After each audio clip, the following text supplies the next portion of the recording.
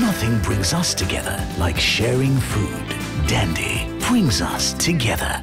Hey guys, this is Faris and welcome to a very special episode of the Weekend Roundup.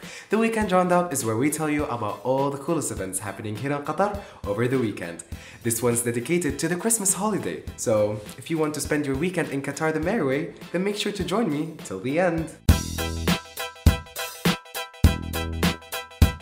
First off, 365 Adventures Qatar is celebrating the Yuletide season with a secret Santa Village themed desert camp, and families and group of friends are all encouraged to join them for a night full of food, laughter, and unlimited adventures. For more info, you may call them at 333 Gather with your little ones and enjoy a fun and festive family activity, gingerbread house decorating at Intercontinental Doha the City, this Saturday from 3 till 6 pm.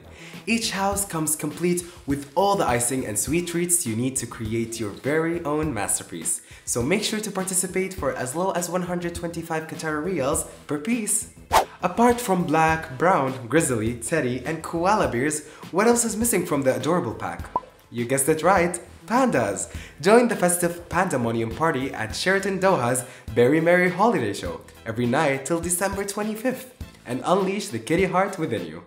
Doha Festival City's partnership with Cartoon Network continues with the launch of the Adventure Time Activity Zone in conjunction with the Qatar National Day celebrations. It's running until the 2nd of January at the mall's center court area, so bring all of your friends as their wide array of activities are absolutely free. After two successful runs earlier this year, Qatar's ambitious family-themed outdoor park, Entertainment World's Village, has once again opened its door for the winter season to the raving Doha public. And guess what? Entrance to the park is now for free. They're open daily from 4pm onwards, so what else are you guys waiting for? So I guess that's it guys for today's episode of the Weekend Roundup.